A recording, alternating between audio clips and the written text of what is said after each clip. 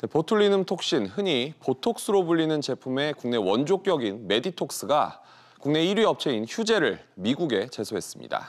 지난 몇 년간 메디톡스와 대웅제약 사이에 벌어졌던 균주 출처를 둘러싼 논란이 휴젤까지 번졌습니다.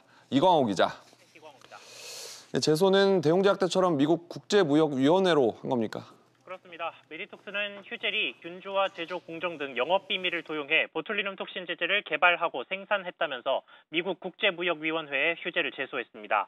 휴젤의 불법행위 조사와 함께 휴젤 제품의 수입 금지 명령을 요구했는데요. 지난 2019년 초에 대웅제약과 벌어졌던 소송과 판박입니다. 메디톡스는 당시 소송에서 대웅제약 제품의 21개월 수입 금지 조치를 이끌어냈지만 이후 회사 간 협상으로 대웅제약으로부터 합의금을 받으며 무효화된 바 있습니다.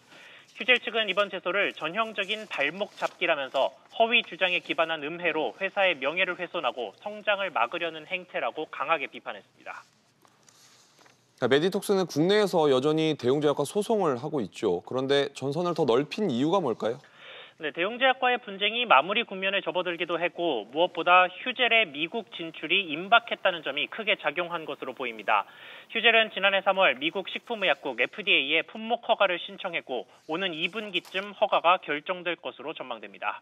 이 진출을 막거나 혹은 적어도 진출 이후 대웅제약과 마찬가지로 합의금을 받을 수 있을 거란 계산이 섰던 것으로 관측됩니다. 또 소송 비용을 글로벌 분쟁 해결 전문 투자 회사가 부담해 메디톡스는 막대한 지출 부담에서 자유로운 상황입니다. SBS 비즈 이광호입니다.